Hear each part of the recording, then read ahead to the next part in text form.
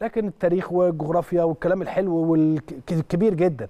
فأنا الحقيقة مستغرب شوية من إن الكلام اللي بيتقال إن المباراتين دول سهل مفيش مباراة سهله أديكوا شفتوا الماتش اللي فات والماتش اللي جاي هتشوفوا الماتش هيبقى عامل إزاي. لأنه تخيل حضرتك ميدياما عايز يعمل إيه الماتش اللي جاي.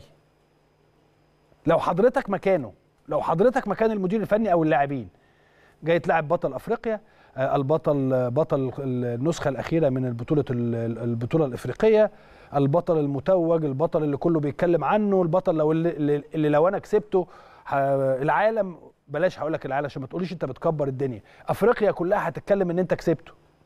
وفي نفس الوقت لو أنا كسبته مدياما أنا بتكلم هنا على مدياما لو أنا المدير الفني وكسبت النادي الأهلي أنا هوصل للنقطه سبعة والنادي الأهلي هيبقى عنده ست نقط. وبالتالي أنا هزيد المجموعة اشتعالا. أنا بوري حضراتكم قد إيه إن الماتش اللي جاي ماتش معقد ماتش معقد فعلا. سواء من الناحية الفنية أو حتى من الناحية ال من الناحية الجماهيرية إن أنت تقعد تتفرج على المباراة ناحية الفرجة يعني.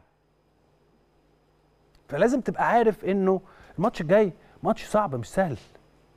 وللمرة الثانية أو للأسبوع الثاني على التوالي أنا بقول لحضراتكم هذا الكلام لأن قلته على كلام على ماتش شباب بلوزداد والحمد لله أديكم شفتوا. برضو الماتش اللي جاي آه، يحتاج إلى تركيز كبير من كل لعيبة النادي الأهلي يحتاج إلى ترك- تركيز كبير من الجهاز الفني. وأنا بصراحة برضو ما عنديش إن أنا أقول إنه آه عندي غيابات وعندي غيابات كثيرة جدا وأمور كثيرة جدا ولكن النادي الأهلي بمن حاضر.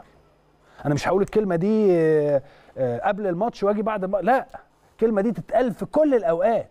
وإحنا كويسين وإحنا وحشين وإحنا عندنا إصابات وما عندناش إصابات. النادي الأهلي بمن حضر؟ النادي الأهلي بجمهوره.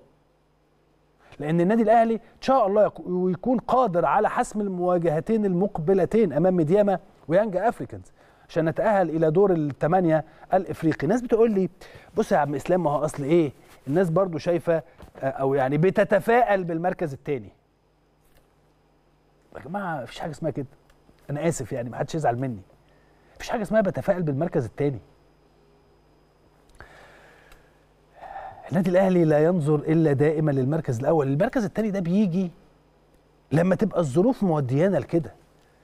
فمعلش يا جماعة من فضل حضراتكم ما حدش يقول إن هو بيتفائل بالمركز الثاني والكلام ده. لا ربنا يكرمنا إن شاء الله ونكسب ماتش يوم الجمعة ونكسب الماتش الجمعة اللي بعدها مع يانج افريكانز ونصعد أول عن هذه المجموعة وبعد كده اللي حلها ألف حلال. أنا لاعب أي حد ما عنديش مشكلة.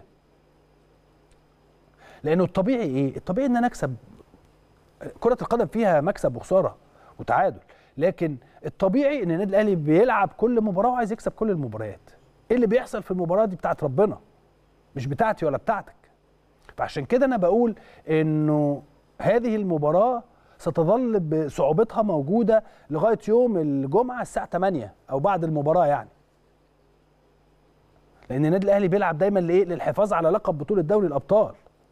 وللموسم الثاني على التوالي خد بال حضرتك. ما هو أنت فريق ميدياما عنده بعض يعني إيه المحفزات اللي تخليه عايز يلعب وعايز وكذا وك- ما أنت عندك محفزات برضه. عايز أكسب ال- البطولة الأفريقية للمرة ال 12 والمرة الثانية على التوالي. آه، عايز آخد الفلوس بتاعة ال- البطولة الأفريقية. عايز وعايز وعايز إحنا كلاعبين عندنا عايزين نعمل ريكورد جديد للنادي الأهلي ولنفسنا. فأنت عندك محفزات يكفي المحفز الرئيسي من وجهة نظري هو جمهور الأهلي. 70 80 مليون أهلاوي واقفين مستنيينك. الدنيا بتبقى عندنا كأهلاوية واقفة يوم الجمعة من الساعة 6 للساعة 8 إحنا مرتبين حياتنا على هنعمل إيه من يوم يعني إن إحنا هنتفرج على الماتش من الساعة 6 للساعة 8 أي حاجة تانية هتستنى. ولا أنا بقول كلام غلط؟